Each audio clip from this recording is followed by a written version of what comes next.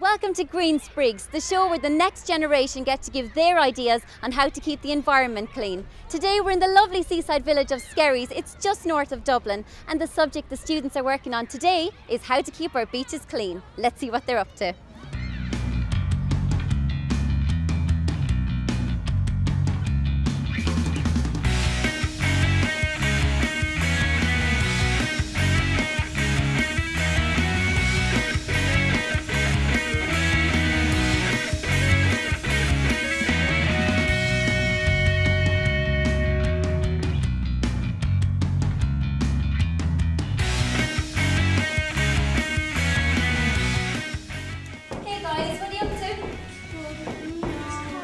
Have a look?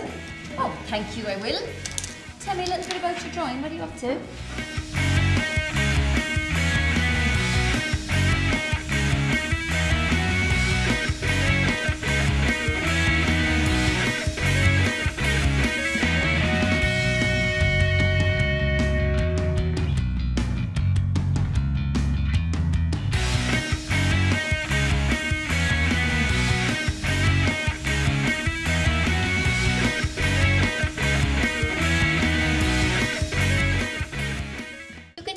The start to your story? Um, it's you see Penny on a plastic bag. It starts on a beach and it's really um, dirty and there's loads of rubbish on it. There's cans and plastic wrappers and crisp um, packets and uh, Coke cans and um, plastic bottles, plastic bags. Well, there's two dolphins. Um, Jack and Penny. Yeah, they're um, brother and sister. And the dolphins come in. And um, one of them, Penny, got mistaken for she thought a plastic bag was food. It looked like um a jellyfish. And it, um, she ate it and got really sick.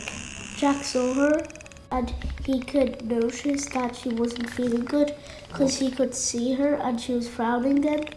She was making a lot of noise, like She's she's just really sick and she can't really breathe that well because it's stuck.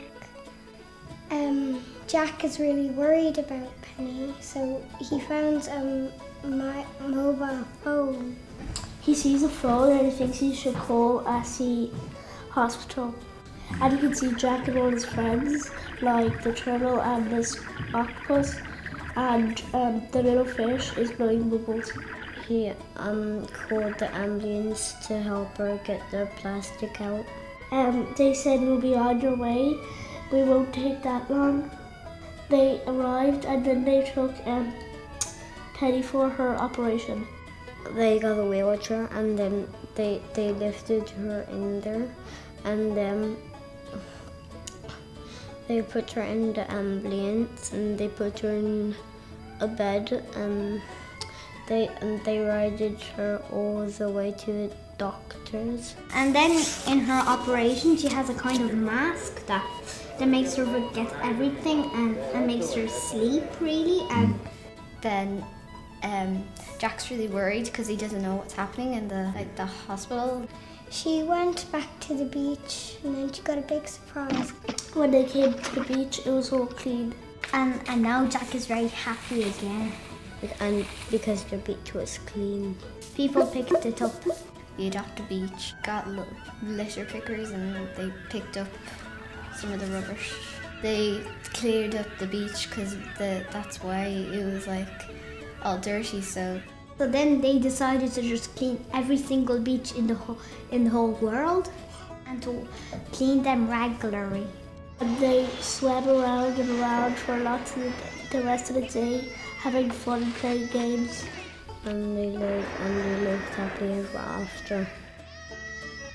That was a really great story, and you had some wonderful artwork too, and some amazing ideas of how to keep our beaches clean and litter free. Now, you and your teachers can follow up, go to greensprigs.ie. We had a fantastic time here in Skerries, but it's time for us all to say.